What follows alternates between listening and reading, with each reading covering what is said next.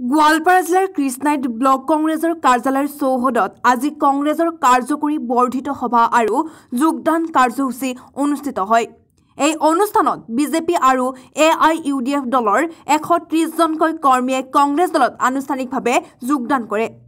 কৃষ্ণাই block কংগ্ৰেছৰ উপ সভাপতি মেহেদী আলমৰ সঞ্চালনাত অনুষ্ঠিত কাৰ্যকৰী বৰ্ধিত সভা আৰু যোগদান কাৰ্যসূচীত উপস্থিত থাকে গোৱালপাৰা পূব বিধানসভা সমষ্টিৰ বিধায়ক এ কে ৰছিদ আলম দুধনৈৰ প্ৰাক্তন বিধায়ক Deben Daimari A P C চিৰ সম্পাদক দিগন্ত ৰাভা উমেশ ডেকা গোৱালপাৰা জিলা কংগ্ৰেছৰ উপ সভাপতি নুৰ হুছেইন জিলা কংগ্ৰেছৰ সাধাৰণ সম্পাদক যাদৱ স্বৰ্গীয়াৰী জিলা কংগ্ৰেছৰ মহিলা সভানেত্ৰী ৰিঞ্জুৱাৰা বেগমৰ লগতে কংগ্ৰেছৰ নেতা কৰ্মীসকল উপস্থিত থাকে।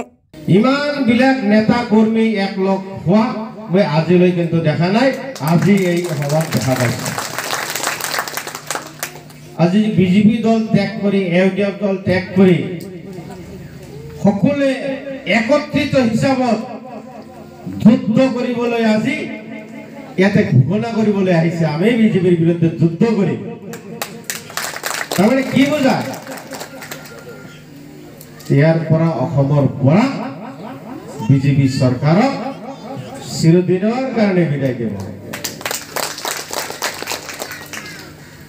Bureau Report, Newsnest. The implementation of science and technology is a blessing for the entire universe in 21st century. At this time, Brahmaputra College, Guwahati, offering BSc Nursing and BSc Medical Lab Technology under Srimanta Shankardev University of Health Sciences and Government of Assam. We also offer BSc and MSc in various disciplines like Applied Physics, Computer Science, Geology and Chemistry under Assam Science and Technology University. For admission, contact 88